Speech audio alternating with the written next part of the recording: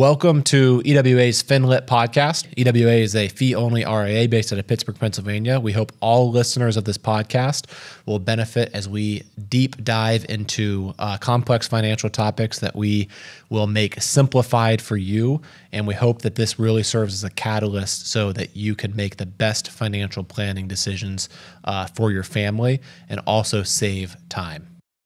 In this week's episode of the FinLit podcast, I'm joined by Sunjay Mannan. Sunjay is a family medicine doctor here in Pittsburgh, and he is the founder of Health is Wealth, which is a concierge medicine practice also here in Pittsburgh. So we're going to talk about his journey through residency, working for a large hospital, and then ultimately why he chose to start Health is Wealth and why he believes that concierge medicine is um, a better alternative to medicine within a large health system. So if you're a physician and you're considering starting your own private practice, stay tuned. We're going to go into detail about how Sunjay made that decision and what went into that, uh, making that big jump.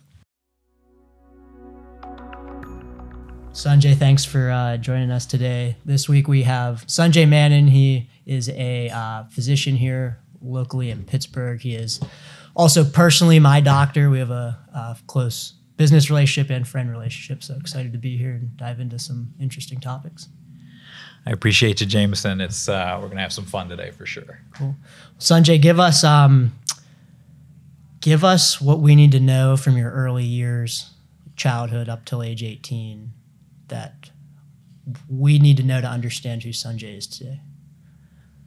I think with, with anyone, it's it's nice to go one generation back to kind of figure out you know who they are.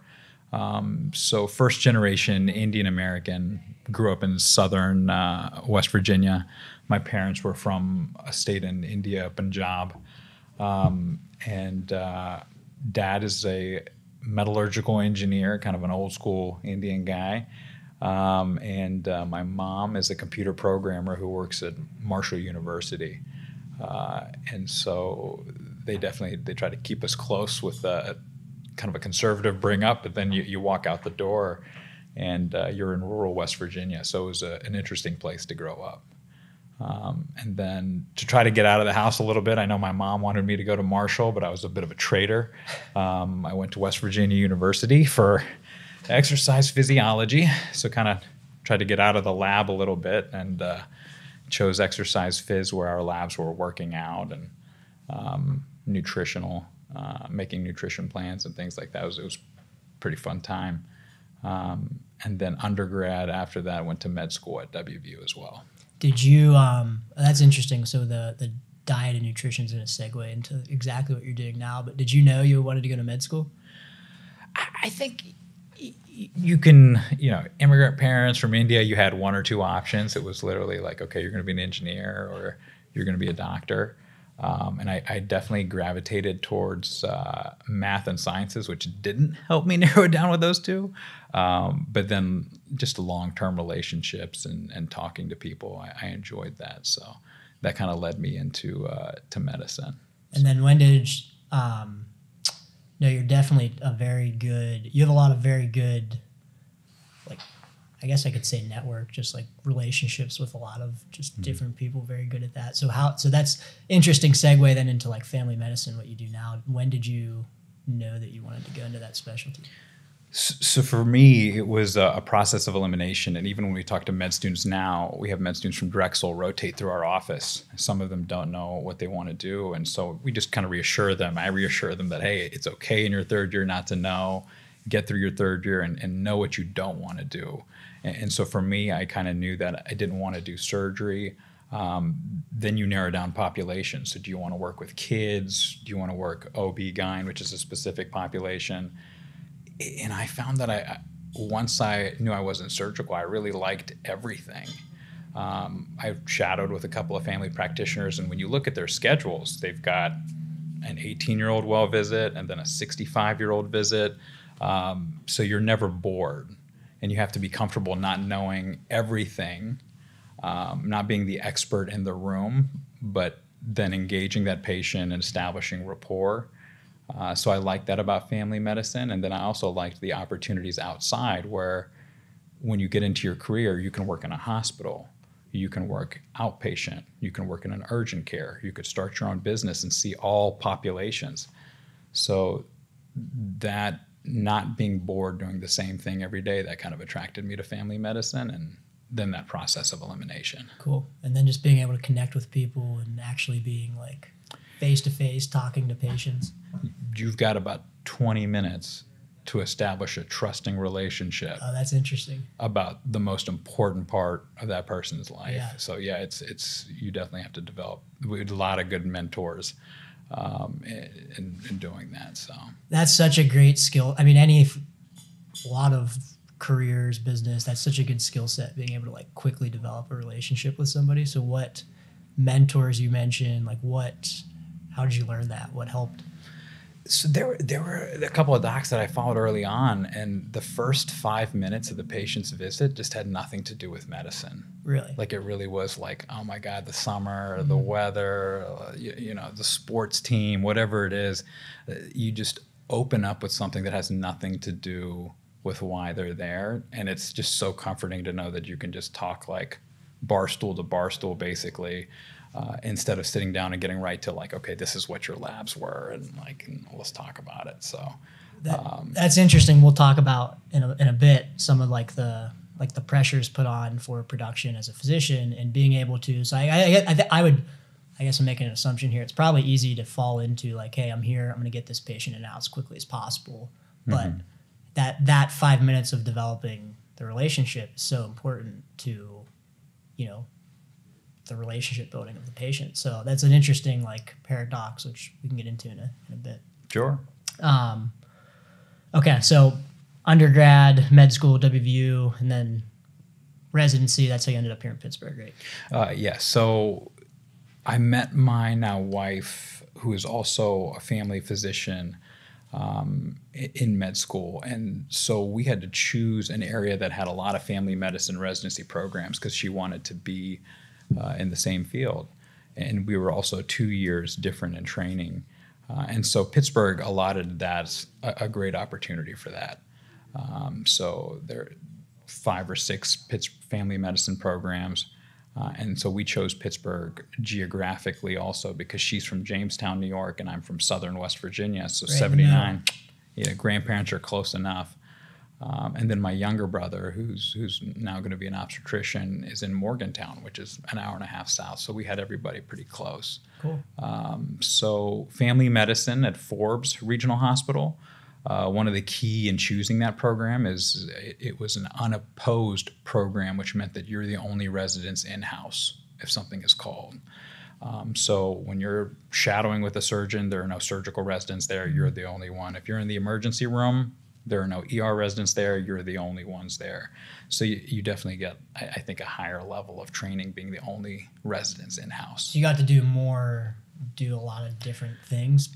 You're not competing for your education. Yeah. So if somebody's looking into programs, I would recommend unopposed programs for family medicine for sure.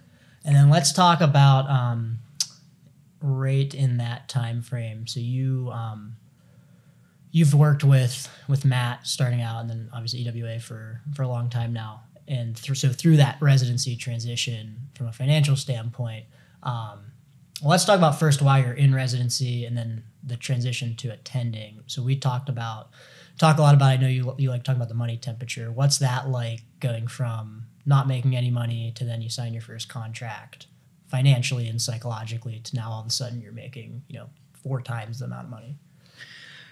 It's it's obviously crazy to see the amount that then all of a sudden is hitting your bank account and you think about all the things that you could use that money for. Um, I've seen residents that then go on to attendings and they're buying, you know, boats and they're going from their four wheel, their sedan to like a luxury sedan or um, they're taking all, all kinds of trips. But but one thing that through EWA is is the plan and, and keeping it simple, um, especially when with a marriage, we had no idea how we were going to do our finances as far as joint accounts, not joint accounts, credit cards, um, who, who takes care of what. And so keeping things simple and forming a plan has probably been one of the most valuable things for us uh, going from residency to uh, um, to attendings. Like you think about a financial advisor and you think about okay stocks and bonds and how are they going to manage our assets. Uh, but with EWA, there was a level of comfort uh, in, in managing finances in really your life because you think about when it comes to marriage or anything finances can be a pretty one of the the top reasons there can be turmoil and it's not your wife's plan or your plan it's a EWA's plan for you and you both can kind of agree with that. So it's it's kind of a cool thing. Yeah i think the statistics like finances over it's over 50 or 60 percent of american families say finances are the number one stressor in, in their household. And we don't even think about it. I mean, it's like a, between Katie and I, there's there's literally no thought about what our plan is. Now, the execution of the plan is still up to us, but what our plan is, there's no conversation in our house Wow. as far as what, like, literally none. wow Now we may get, we may think about okay, how well are we executing this plan? But what we're going to do, there's never a question, and it was based off the plan that Matt drew up in 2015, 2014. I mean, it's it's just been the same plan, so, So it's, you- do you it's kind of feel- do you feel like fi- like financial stress is like it's probably never completely going away but like for the most part between It's the only stress we have is execution. yeah But what we're going to do, which is often a lot of your stress, right? You have two decision fatigue Ex- exactly. Like, are, are you making the right decision? Are you on the right path? Yeah, Then you try to seek other advisors. You talk to family member. You talk to the guy on the street. What you you know, but, but we always know what our plan is, which has been so so reassuring. awesome Um, so Yeah, great. Appreciate the feedback. Um, so, what advice would you give um, a resident? We don't, yeah, we don't work with really any residents anymore. But point of this podcast, financial literacy, give financial literacy back to all listeners. Um, what advice would you give to somebody that's in residency that's getting ready to make that jump financially, or any any advice at all that would help set them up to you know get into a position like you are where you don't have financial stress so I would find someone who could make that plan for you early, just again, because that takes that stress off. You're going to be so busy in your training that you're just not going to have time to think about, um, you know, stocks or bonds or what the market is doing. Or so having that plan of like, this is how much you're going to put in your IRA starting off for residency. There are a couple of tricks that I've heard of like filing extensions so that you can put more into an IRA. I don't understand all the details with that, but that was something I told my brother to look into from a tax perspective, like extending your tax year, because then you could put more into more into an IRA. You might you might know about no, that. you can't no you won't be able to put any more in you could fund it later if you extend it so like if you put um if you haven't okay so basically as a resident obviously you're not make you're you know you're making 50 60 thousand dollars a year so you may not have been able to fully fund like a roth ira for Mm-hmm. the year because you know that's not very much money to live on Yeah. um so if you extend your taxes you can contribute to it past April. So if you've made three of the 6,000 65 6,000 for last year contributions, then if you extend it then till October, you can make the other 3,000. And so this is a perfect example of where, as a resident, you might see an article or someone else might say, "Hey, I'm doing that," and then you need that person to go to to like clarify what is it and then how to execute it. Yeah. So the, those are things that I've told my brother to look into after hearing that when he was in residency. Um, one of the main things would be just to keep things simple and live close to where you're going to be working. So I saw residents that were living in Pittsburgh and commuting to Monroeville, and they thought, "Hey, Pittsburgh's got so many things to do. I can walk around and have tea in the morning and this and that." but, but it's it's like your life is going to be residency. Just get an apartment or a townhouse that's right next to the hospital, and uh, Basically, your life's going to be stressful enough. Don't create any more stress living far away, commuting in traffic. Yeah. you know, we had a great behavioral therapist at Forbes Family Medicine, and he always used to say, "It's amazing how difficult people make their own lives," and that's just one example of Yeah, it. Like, yeah. Like if you're going to be working somewhere and you're going to be working long hours, just get a spot near there. Just simplify it. Yeah. Yeah. Um, okay, so then you started, got a residency, and then you since have, which is what I want to dive into, spend a lot of time on, since have started your own concierge medicine practice a year, two years ago, a year ago. Yeah, 2022. Okay. Um, so title, I love the name of it. Health is wealth. Before we dive into that, let's just yeah. First off, why two questions for you? Answer these how you want. Why did you choose to name it that? And then tell us about why you made that decision to start a concierge medicine practice. So health is wealth comes from something my dad used to say just all the time. He actually had quadruple bypass at like the age of 49. He was a super healthy guy. I mean, your standard Indian sport. He he rocked badminton two or three times a week, wasn't on any medication, and his first sign was that he was just short of breath and he couldn't walk as many miles as he used to walk. That was his sign that something was wrong. He goes in and they're like, "Well, we're putting you in for surgery. You've got quite, you know, coronary artery disease." So after that time, in his low 50s, he just started to say it at, around the house all the time. Your health is your wealth. That's awesome. Um, and I mean, as an engineer and a computer programmer, I think a lot of immigrant families might be able to relate. A lot of their money still goes to take care of their families in India. So he was one of 10 siblings, um, agriculture based family. So not only was he taking care of us and making us feel like we could get anything we wanted, um, but he was he was sending money back to India, and so it wasn't really even a fiscal thing for him. It was it was really just hey, there comes a time in your life, no matter what's in your bank account, that your health will be your wealth, and mm-hmm. how much you can enjoy your wealth will 100% be determined by your health. And so that just kind of stuck with us, and it stuck with my brother too. So. So Sunjay, as you made this you've made this transition to starting concierge medicine practice. What advice would you give to physicians that are, you know, employed by a hospital and they want to be in the private practice space, but they're kind of debating, you know, should I do this? Should I not do it? What advice would you give? so I think some of the mentors that uh, kind of push me that we talk about risk when you're when you're starting a new business, and physicians should just remember their value and that their skill set is always going to be needed, and so the risk of your venture failing is that you just go back to being your primary care provider, or you go back to being a cardiologist, or you go back to being a pulmonologist. Um, so the the risk really depends on one thing. For me, was like my partner, who's also a family physician, just said, "Hey, she's a team member, she's a rider. Hey, I'm going to go to full time. You go to part time. We'll try this venture. If the venture doesn't work, you'll just go back to being a primary care provider." So one contract ends, you take some time to build your business, and then someone in Pittsburgh still is going to need a primary care provider two or three years from now if you choose to, to go off and do it. So as physicians, there's less risk when it comes to starting your own venture. Because you've went to four years of med school, went through training, and it's like now you have this very high value skill set that is always going to be needed and in demand. You can always go back to what you were doing before if you want. Yeah, that, that was one thing that actually led my father to kind of push me towards medicine was as an engineer, he was employed and his patents were owned by the company. And whenever the company was bought by another company, there were cuts and people mm. were fired. And then another company bought it and they were fired. And so job security in the, in the medical field is something you don't necessarily have to worry about. You're, there's always going to be a need for whatever type of physician you are. So eliminating, just mentally eliminating a lot of the risk mm-hmm. and just doing it.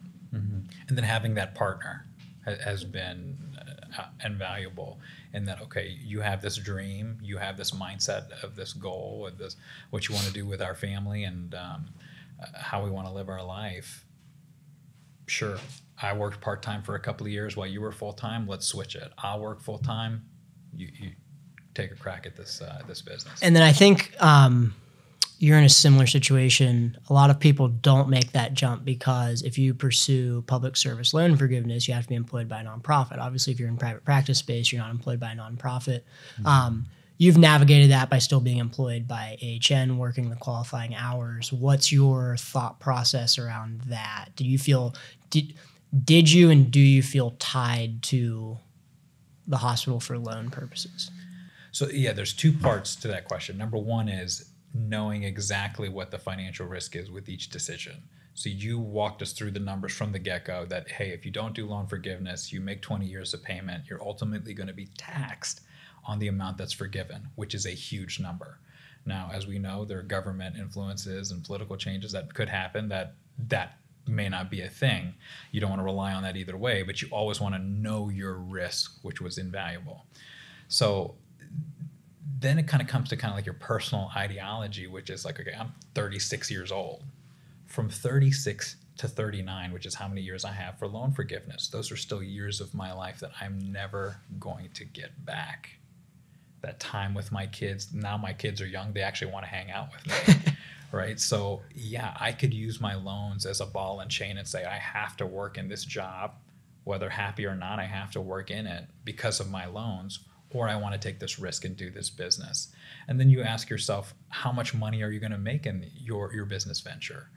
So your loans may not be, um, you know, a grain of sand in what your your profit may be or what you may be making with your with your business. So I think there's a lot of uh, things you want to think about as far as do you know your actual numbers? How comfortable are you with debt? And and uh, then kind of like that like I'm never going to get these years back. Um, when we're young, we have a lot of earning potential, so it, it's it's less daunting to me that ball and chain. Some people have student loans and they pay them off within five years because they can't stand the thought of having debt and uh, the thought of having to pay more by stretching out over years. They just can't stand it and then other people it just doesn't bother them. I just I don't think about it. Like I think about after I get home from work, what am I going to be you know yeah. doing? So so it sounds like from what I'm hearing. So obviously knowing I, I mean, just as a financial advisor, I think it's obviously important to know the financial risk in making 100%. a good financial decision. But on the flip side, you've kind of adopted the mindset of like. So you are still employed by HN, so you're still going to be able to get the through them. But if at any point you know the number of like here's what the business revenue would have to be mm-hmm. to merit walking away walking away and just paying yeah. the loans off where it's like a net net even financially and then that gives you peace of mind to make that decision i think adopting the like you've adopted kind of the abundance mindset of like that's you're not going to limit that's not going to limit you mm-hmm. because you could just say like i'm gonna just going to work harder and make more money to then pay off the loans if i did want to go that route Sure, sure. And then let's say, you know, the venture doesn't go through, which you never want to think about. Three years from now, if I decide, hey, this is something I don't want to do, then I go back and work for a nonprofit for three years and they're forgiven at that time. But then six years from now, I would be looking back like, did I take that venture? Yeah. Like, did I take that leap? The iceberg is splitting. Did I put one foot forward and let it split, or did I take the step? You probably would be more upset with yourself if you played out six years from now and you didn't make that business venture, you would regret it versus you do it, it fails, and then you go back to it. You probably would get more satisfaction in that scenario because you've at least tried it. You don't regret not doing it. Oh, 100%. Because there's also a timing involved too, as far as like concierge medicine is relatively new to Pittsburgh. And when we see the challenges of the modern medicine model, somebody is going to come up with these ideas of how to bridge the gap, how to make medicine 2.0. Um, so if you if you see that hey no one's doing this right now, let's try it.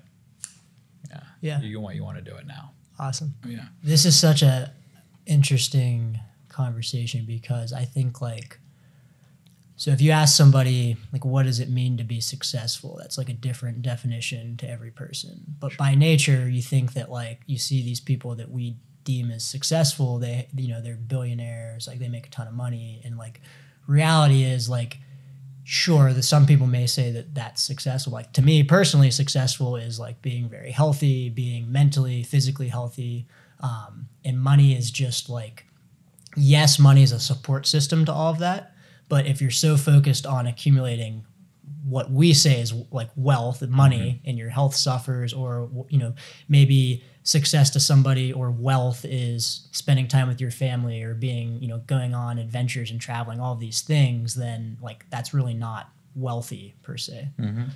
absolutely yeah. absolutely and then as, as we age obviously you know some people say it's the uh, the go-go years and yeah. the slow go and the no i mean just to think about how healthy you are during those years and, and how to maximize that um, we think about maximizing health span over lifespan. Um, there's a pioneer in the f- field of longevity, Peter Attia. Yeah, we, we try we to talk about a lot. We, we, try to take a lot of his principles and just pass them on to other people. And he, he's uh, he indirectly probably mentors so many physicians yeah. um, in choosing what they tell their and guide their patients and what they hammer home. Um, and, and, just this idea of pushing off disease as far off as possible and, and preventing disease. Um, so that's uh, something we try to do. Okay, we'll dive into that in in a second here, but so love the name Health is Wealth. I think that's I could not agree more. But why did you um, why did you decide to start a concierge medicine practice? In starting concierge medicine, you have to see how far the patient experience has come in medicine already. So you have access to your doctor via your MyChart that you can send them a message. You have 24 7 video visit capabilities after the pandemic that you can jump on and make a visit. Um, so patient experience has come a long way. So with the concierge model, we're trying to figure out how can we take that to the next level. So patients are still commuting to see their doctor, which takes up some of their time. Um, they're in a waiting room. They're kind of governed by the 20 minute, 15 minute appointment slots. So basically, when I was doing outpatient medicine, I thought, hey, we can do better than this. And we saw that patients wanted more. Uh, and that's where the concierge model which is not new, by the way. It's a little bit new to Pittsburgh, but that's where where we thought, hey, let's let's bring it here to Pittsburgh. Interesting. Um, yeah, I think a lot of big decisions just from talking to other people and, and listening to you know podcast other people's stories i think a lot of big decisions like that come from like hey i'm doing something but this could be done better. And you always have to like go against the grain a bit because it's like traditional medicine is telling you you know to do what you were doing before. And you said hey i'm going to try to find a better way to to do this which is which is really fascinating. Yeah and, and i think sometimes a catalyst in that can also be a negative experience that can say hey that'll give you kind of the push out the door yeah, was there one of those so I think with corporate med- medicine model that like we were talking earlier there's a lot of pressure to see hey volume and growth when you mix business and administration with medicine there's always this clash of medical doctors want to spend more time with their patients. Um, they want to do less administrative work as far as documentation. Um, so there's there's always this clash. And so the other thing is that your where you practice your medicine is at the hold of your corporation. So they may say, "Hey, we're going to put you in this office," and then based on a certain metric, another office is doing poorly. We need you to go over there and help that office. So th- there were instances where I was moved from office to office. And when you enter medicine, you want to be, especially family medicine, you want to be that old school family doc that you go to the grocery store, you go to the high school football game. It's like, oh, Dr. Mannan. Uh, you have this great long term relationship with your, your families that you take care of. And when your when your practices move three or four different times, you can never do that. No, and then your your patients are then following you. Mm from location to location so their patient experience goes down and you being their PCP. And the idea from a network is that that patient is not yours. Yeah, it's the hospitals. that patient is that network's yeah, patient, networks. right? There's no doctor. The doctor-patient relationship is there, but ultimately it's this network's patient. Mm. And so that was kind of my catalyst for okay, I don't want anyone to tell me who my patients are or how long I spend with my patients. So on a typical day working for a network, I might see 22 people a day. On my concierge days, I might see one or two patients a day. I'll go to their house an hour and a half to two hours, mm-hmm. spend that with them. Somebody comes in with a grocery list, they want me to look over it, I do that. Yeah. Their high school student, the son wants me to look at his uh, weightlifting program and how can he put on five pounds.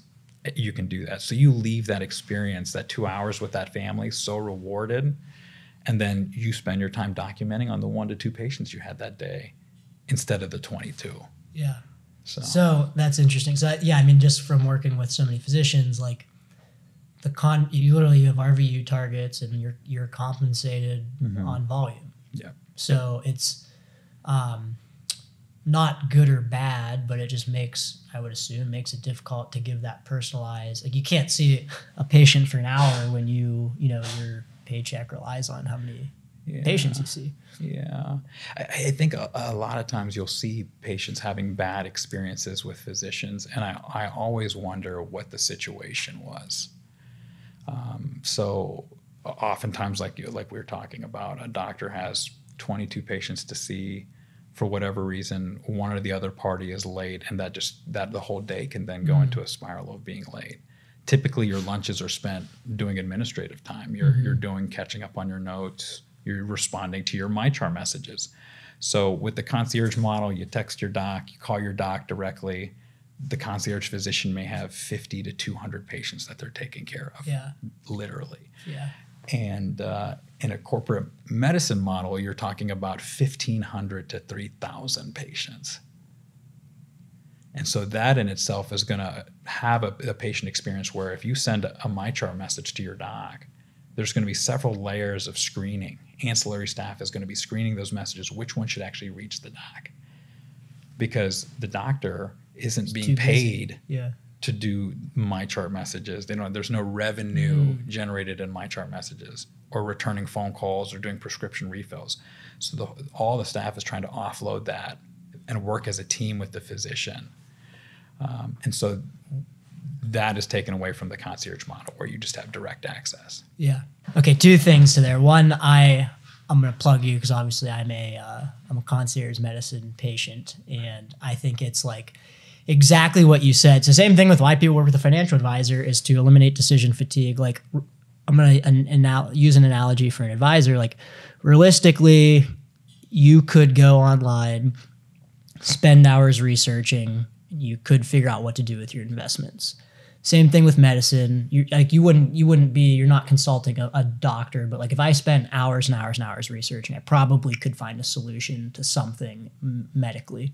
Um, is it correct? You'll have no idea. You'll have decision fatigue. Like you'll you'll you consult people, but having that go to person that I can call you with a random. I've, I've asked you some pretty you know crazy ridiculous questions, but calling you with that question on the spot and just getting that immediate decision affirmation saves so much of my time, and then I don't have to go to a, a office anymore.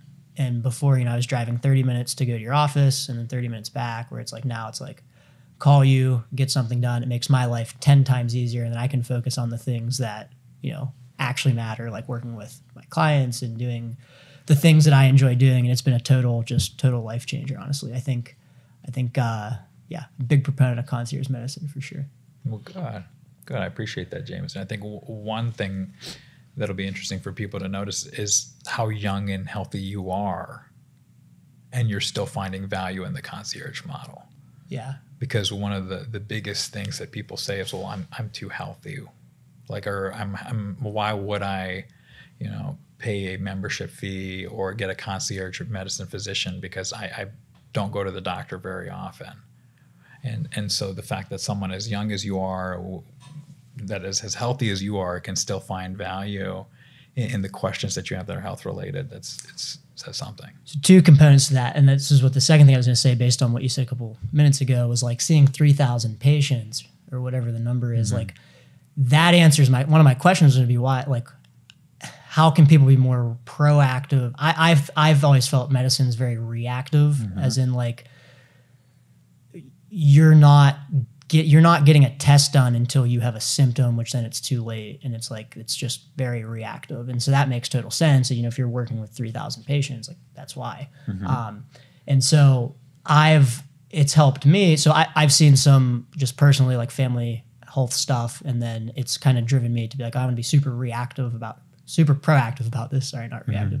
Super proactive about this from a young age, and just like I ask you all the time, like what are things that like Um, what are things that I could be doing now that people don't do, you know, for 20 years just to make sure that we're like ahead of the curve. Mm-hmm. Um, and that has helped me so much. One, just giving me peace of mind that like, hey, we're screening for everything possible. We're doing all the tests. Like I get a ton of like once a year we do like intense blood testing, which like a mm-hmm. 20 somebody in their 20s is not generally doing that. Mm-hmm. And so it's helped me just get peace of mind that, you know, we're on top of things and I'm also prepared. Like I like to, I just have like an optimized mindset, optimize my health, optimize, make everything as efficient as possible. And so mm-hmm.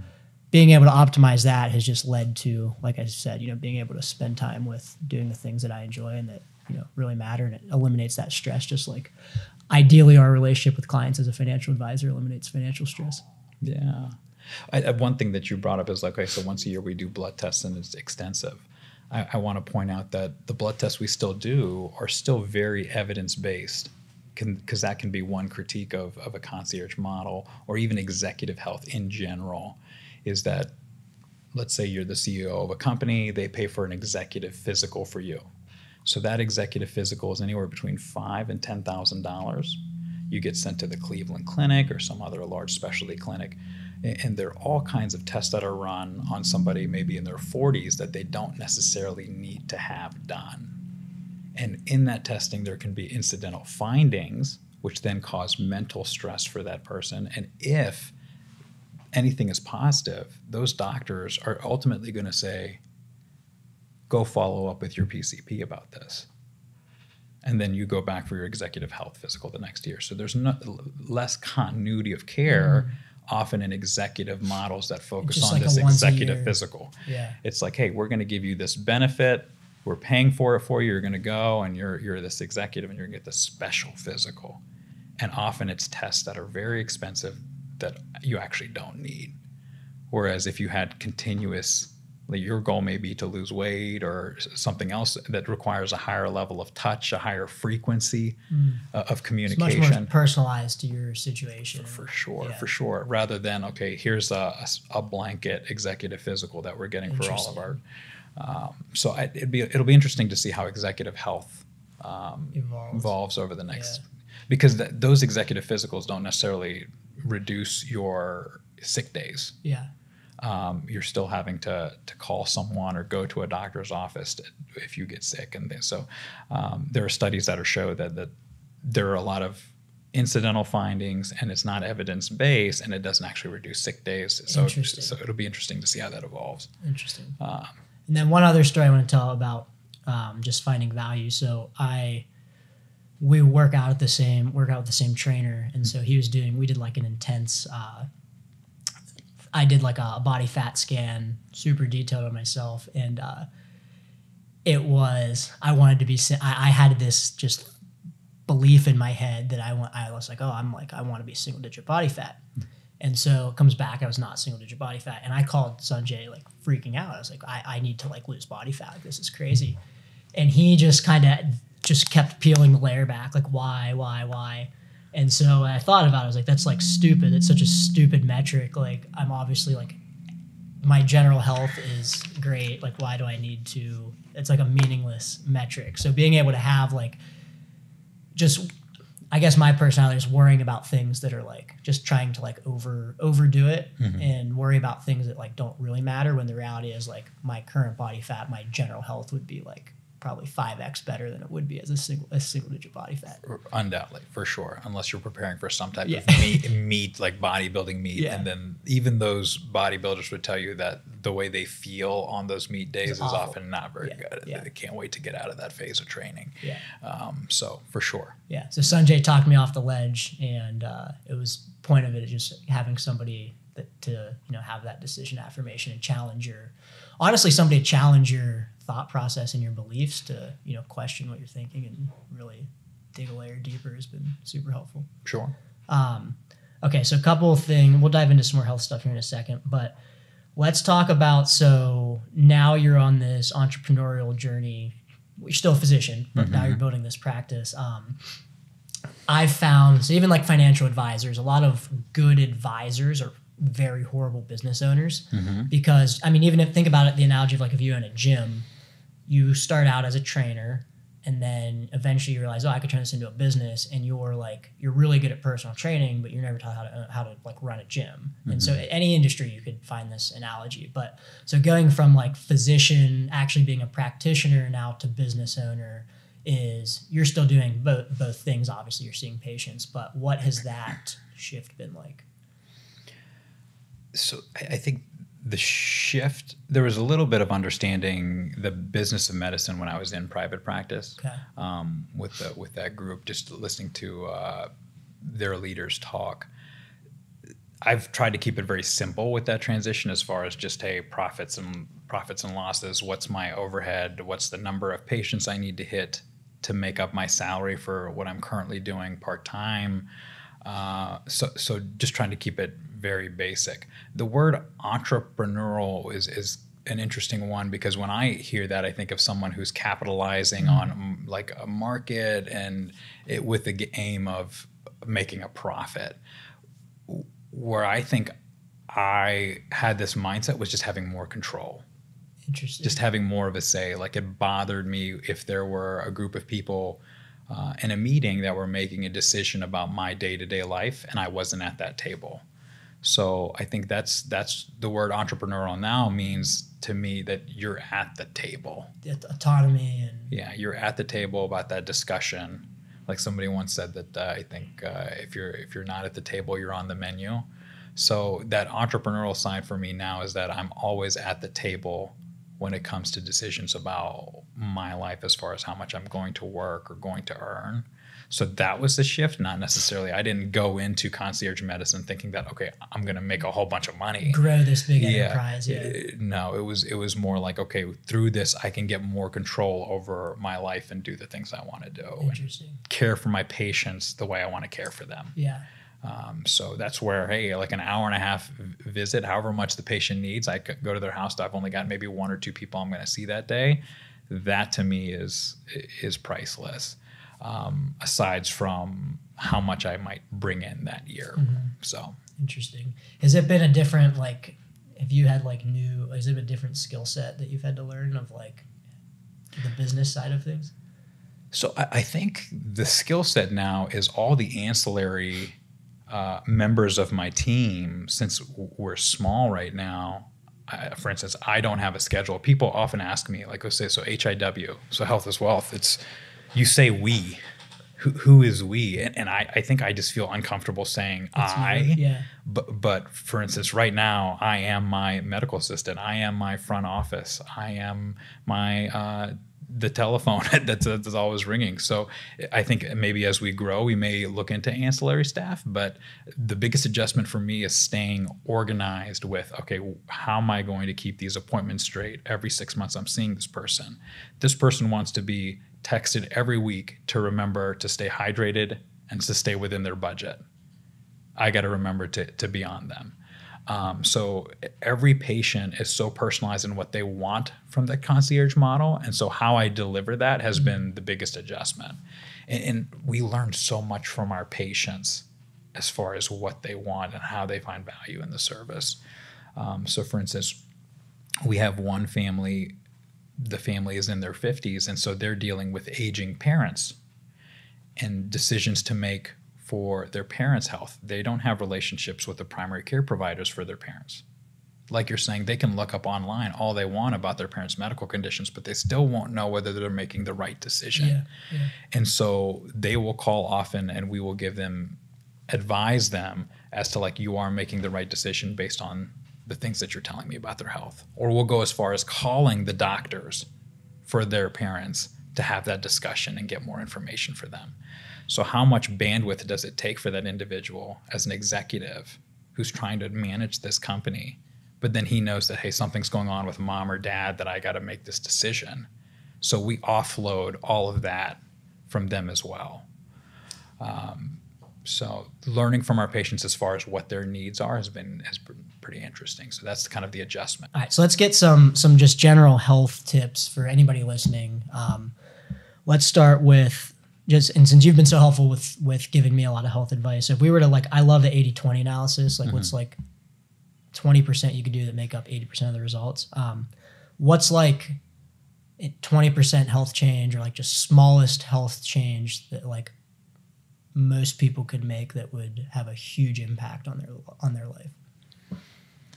So we can start with just like what would make a huge impact on someone's life. Um, so number one is is going to be exercise. If you're looking for a pill that's going to reverse disease, um, that's going to lower stress, that's going to improve sleep, that's going to hit all every check every box, it, it's going to be exercise.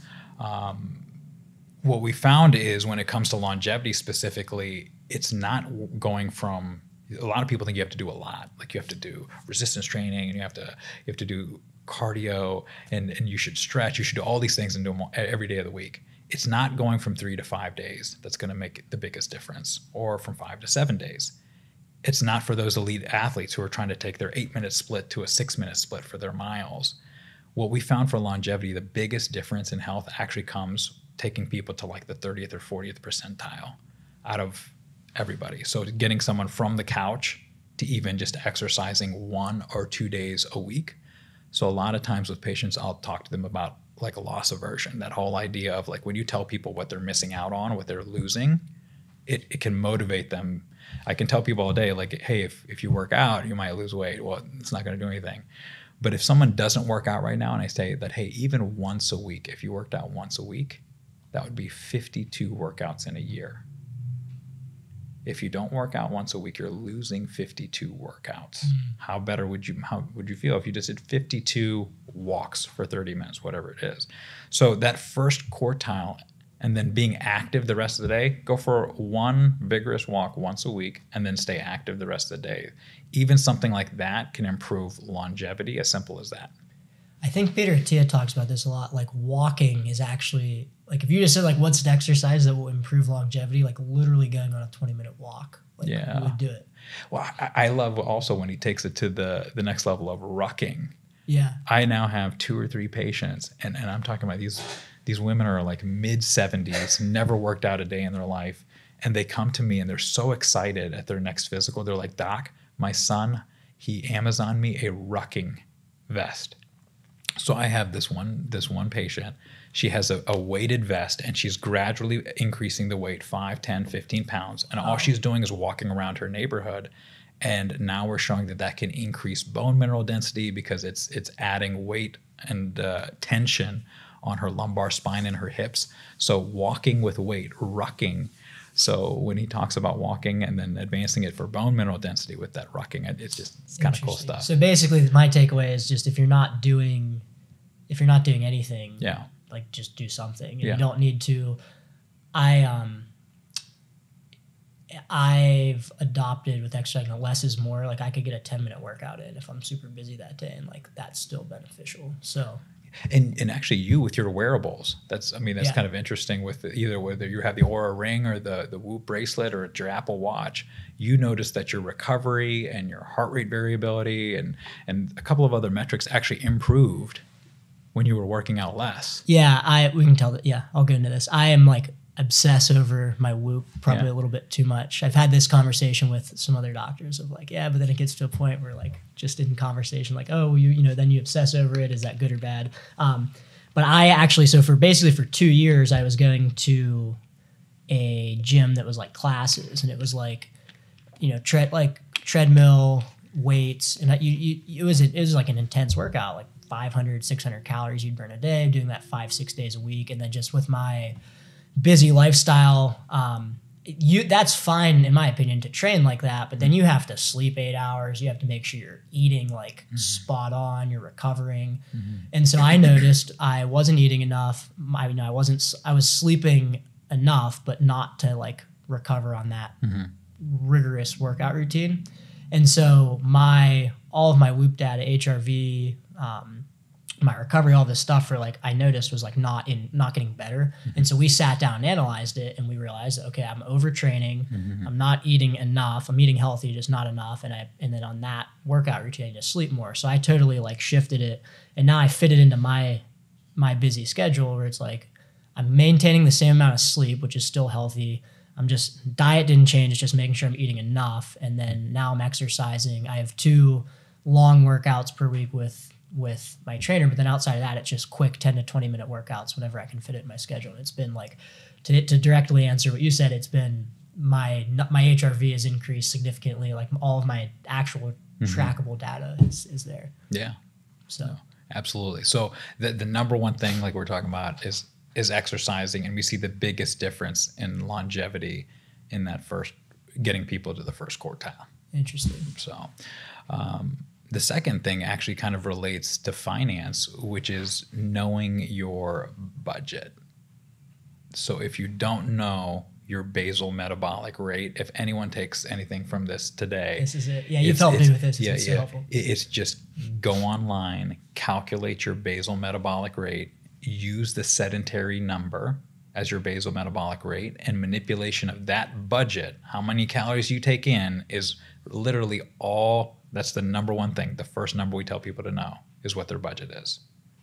And then from there, we can calculate a deficit if you're trying to lose. We can give you a surplus if you're trying to gain. Um, but I, I'm don't I'm not worried about your carb intake, your fat intake. The first thing we do is know your budget. Yeah. That's been helpful because like I, I had no idea and I was under eating. Yeah. And then knowing, hey, here's like the baseline your body needs to operate. And then whether you track it or not, it's just like now you kind of get a feel for how much you like. Yeah. If you don't know that, you overeat. I think a lot. And Just knowing portion control, like how much, how many calories are actually in what you're consuming, is like huge. you, you talk about caloric density in food. So we have staff that will, will be, you know have these little Hershey's things that are sitting there, and one or two of those is 250, 300 calories. And so I have people come in all the time, Doc, I don't eat a lot, um, but what they're eating is so calorically dense that it's putting them over budget.